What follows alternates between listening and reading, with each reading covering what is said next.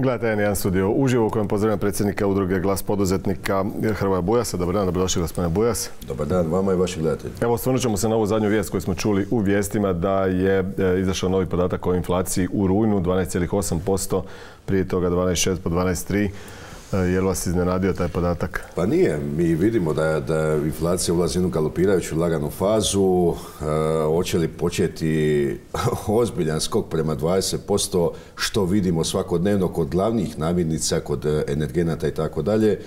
To ćemo vidjeti. Ovo je čak još i dobro kako zapravo u stvarnosti čini mi se da je daleko već. Procjena je ipak i HNB-a, pa i vlade, Europske središnje banke, da bi to trebalo e, padati, do kraja godine se, e, se stabilizirati, pa onda na godinu ići ka boljem. A da, njihove su procjene bile valjda da neće biti preko 10%, pa sad smo na 12,8%. E, sjećam se kad je bila 3-4%, da je bio nagovješta eventualno 7-8%. Svi smo vidjeli kuda to ide, svi smo vidjeli da neće biti dobro poskupljenje energenata, logistička kriza, e, na konc konca rat koji se događa, vidjeli smo kuda to ide. E, ono što nas zanima su akcije vlade, reforme koje mi od njih tražimo, a to se događa polako na kapaljku. Istina, nešto u kontekstu e, ograničavanja cijena električne energije se doista i događa i to je dobro. To je dobro za sada, ali ključne reforme se ne događaju, nisu na vidiku, opet nisu tema, trebali bi biti. Dobro, kad kažete e, e, inflacija e, je tolika i to je loše, u kojem kontekstu to djeluje na poduzetništvo, na poduzetnike? Pa imate kompletnu nesigurnost. S jedne strane nesigurnost u nabavi, nesigurnost u prodaji. Dakle, inflacija koja ide ovakvim tempom, dakle, raste prački zadnjih godinu dana sad znači 28 očekuje se 15%, a realna inflacija je daleko veća kad uzmete od ugostiteljstva, turizma i tako dalje, koji su u svakodnevnoj nabavi, a da ne pričamo o nečemu gdje je veliki dio recimo uvoz, pa onda plasirate proizvod na tržište. Vi doista ne znate više po kojoj cijeni kupujete, teško raditi kalkulacije, tako da automatski i kad radite te kalkulacije, praktički vaša prodana cijena ide nekakvih 10, 15 ili možda 20% gore da biste bili sigurni da ćete pokriti taj trošak koji ne znate koliki će biti sljedeći mjesec. To u konačnici samo isto tako uzrokuje inflaciju, zato kažemo da ovih 12.8 je početak, da će to ići još i da je ona zapravo realna, gledajući ključne energente, ključne prehrambene proizvode daleko veće.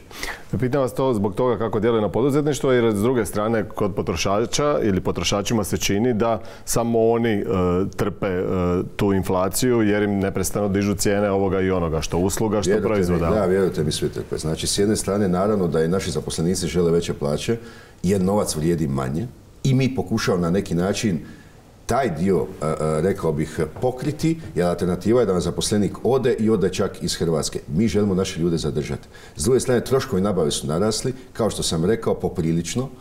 Troškovi prodajni su kompletno u cijelosti sa energentima, najmovima i tako dalje otišli gore, eksplodirali praktički u nebo. E, finalni proizvod je, tada se mora dignuti cijena bilo kojeg finalnog proizvoda ili usluge i imamo sad situaciju koju imamo.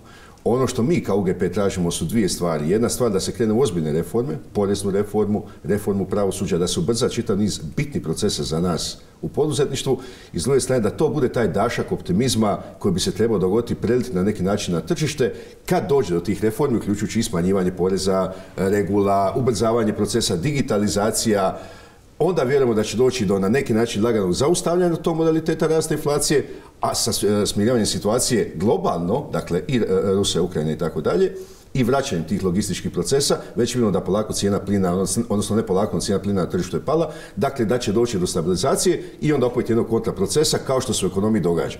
To je proces koji traje, hoćemo biti sljedeći godinu, dvije, tri, hoće li naša vlada reagirati ili ne, pa evo, mi dajemo prijedloge, sugestije, mi smo tu, pokušavamo pokrenuti vladu, rekao bih, gudnuti u pravom smjeru, za sada nema odgovora. Pa mi se ne možemo naći sa ministrom Filipovića zadnje četiri mjeseca. Pa mi smo imali pet puta bolje odnos sa Tomislavom Čorićem, gdje su ljudi valjda mislili da se mi nešto kao tobože preko medija prepucavamo, a zapravo smo rekli da, čak argumentirano i pričali. To sam vas htio pitati, s famoznim tečom, to je bio njegov, njegov nickname na, na, na Twitteru, ovaj, činilo se da skroz imate neka okapanja, da nešto ste nezadovoljni, a sad mi kažete da... A rekao sam, vratite mi to čija, dakle, vratite mi čovjeka s kojim bar mogu pričati, komunicirati komunicirati, nešto mijenjati. Da li je on nešto napravio? Pa nije, ono, očekivali smo više, nije da nije pokušao na koncu konca, ali je tamo tada otišao, znači otišao je čovjek u HNB.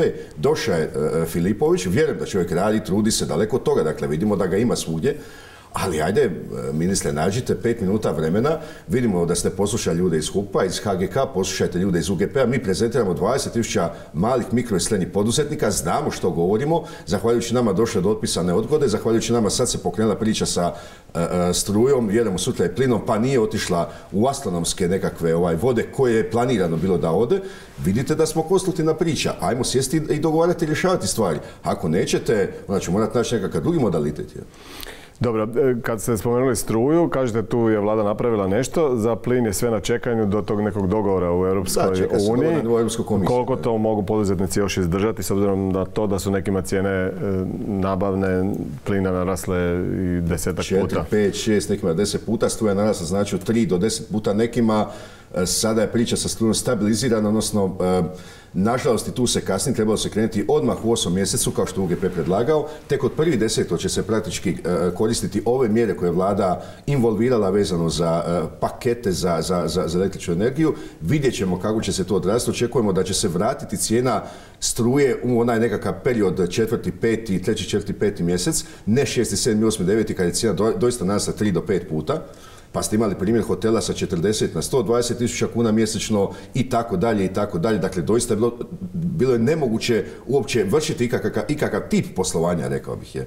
Što će biti sa plinom, vidjet ćemo, to je sad e, Ajmo reći da je struja doista za sada adakta na neki period, vidjet ćemo e, i pratimo situaciju svi skupa i vani na koncu konca, što će biti sa plinom, da to se mora riješiti na nivou Europske komisije, Hoće li se riješiti? Neće. Pa evo mi smo bili prije dva tjedna u Briselu, sad idemo sljedeći tjedan u Brisel gdje u suradnji sa drugim e, e, jakim asocijacijama kao što su SME United, ESBA gdje sam ja i potpredsjednik, također tu problematiku guramo i dobijemo feedback da se čeka finalno rješenje, rješenje na neki način na nivou EU. Hoće do njega doći ili ne, ok, ako ne dođe, će Hrvatska doista mora reagirati, slično kao i sa strujom.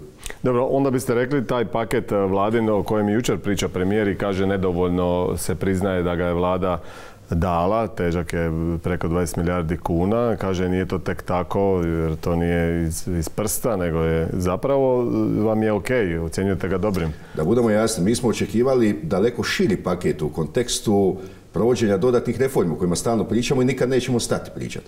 Ovdje se obuhvatio samo ovaj model vatrogasnih mjera koji je korektan u jednom segmentu, u drugom smatram da je malo diskriminatoran, jer ukoliko ne malo, jednostavno diskriminatoran, jer ukoliko ste velika tvrtka, vi ćete dalje plaćati tri puta veću tarifu od recimo male ili, ili tvrtke koja je manji potrošač. Smatramo da sve tvrtke treba imati istu identičnu tarifu. Velike tvrtke na koncu konca imaju veliki broj zaposlenih, ti ljudi su sad isto tako ugroženi, njihova primanja, njihove plaće su ugrožene.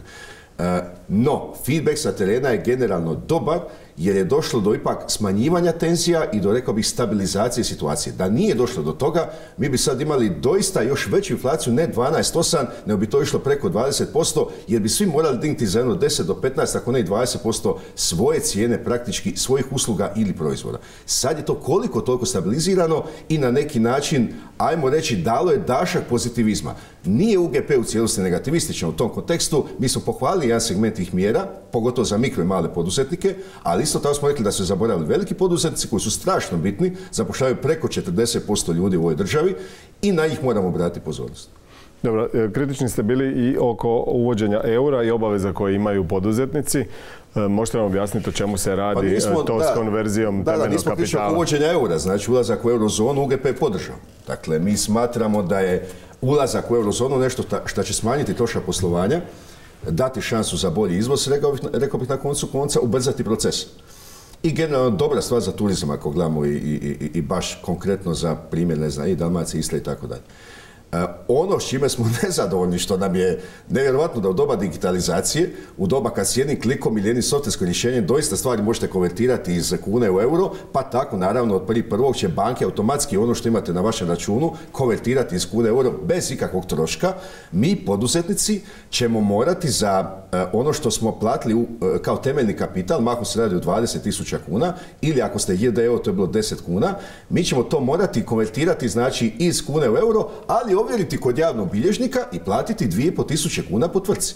E sad zamislite situaciju u kojoj za nešto što vi niste rekao niti krivi niti odgovorni kao vlasnik ili suvlasnik tvrtke, morate si dati taj dodatni trošak koji je država nametnula, a može ga riješiti praktički sa, rekao bih, jednim kvalitetnim softverskim rješenjem, da ne kažem jednim klikom. Dakle, to su stvari koje mi poduzetnici jednostavno ne smijemo plaćati. Zamislite, netko ima četiri ili pet tvrtki, pa to je trošak 12,5 tisuća kuna. Zašto? A ne da Bog da ne napravite tu konvenciju. Razumijem, tu se ne radi ni o kakvom novcu uh, koji je u fizičkom obliku negdje pa se treba promijeniti u nešto. Nego ono što dakle, piše na zaglavlju tvrtke, da, kad, da. Kad, kad, dobiješ da piše temeljni kapital je to tako, i to. Dakle, I sad tvrtka, će oni samo promijeniti, pa nije toliko kuna nego eura da. i to ćete morati platiti 2,5 tisuće kuna. Kod javnog bilježnika. Dakle, su, uh, uh, dakle, u sudskom registru kad, kad, kad otvarate tvrtku, vi morate imati uređen temeljni kapital. On je mahom minimalno 20 tisuća kuna, može biti veći ako ste DO, ako ste JDO, znači 10 kuna pa na više. Sada dolazi do konverzije sa 20.000 kuna na 2.500 eura, odnosno sa 10 kuna na 1 euro. Nama je poduzetnicima sasvim logično da će država, odnosno sudski registar, taj dio automatski napraviti bez ikakvog troška nama poduzetnicima. Ne samo da I praktički trošak. bez pitanja, što bi trebala... Pa, pa naravno, jer to je, nema to više kune, nego je, Naravno, nego je država uvela uve, euro, država će onda taj euro konvertirati, odnosno kune konvertirati u euro u sudskom registru koji je, by the way, u sudskom registru ne stoji nikakvi novci, ti novci su kod nas na računu.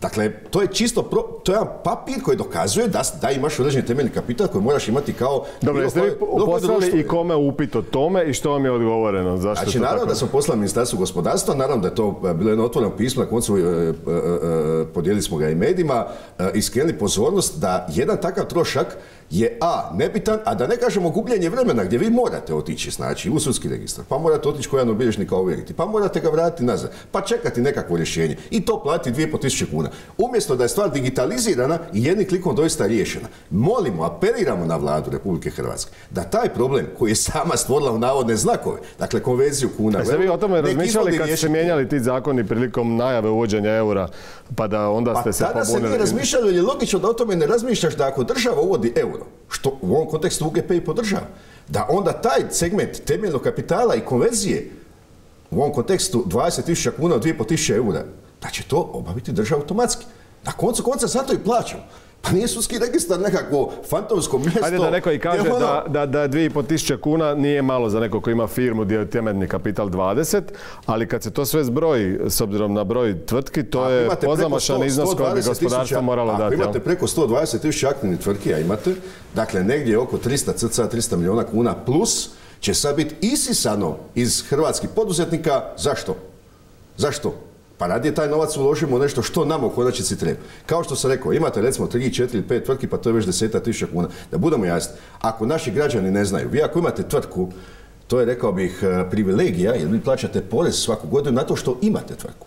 Ako imate tvrtku, imate još usto od 10, 15, 20 pa do 300, 400 parafiskalnih nameta koji su bazirani mahom na vašem prometu. Dakle, državu ne zanima da li si ti ostvario dobit ili prihod, već koliki si promet napravio, pa ako si čak i u gubitku, ti moraš platiti Hrvatskim šumama, ti moraš platiti turističkoj zajednici, ti moraš platiti nekakve vodo i tako dalje pričice. Dakle, nisi ni počeo raditi, već si morao platiti porez e, e, na tvrtku, već si morao platiti koje kakve parafiskalne namete, a to da li si ti išta zaradio?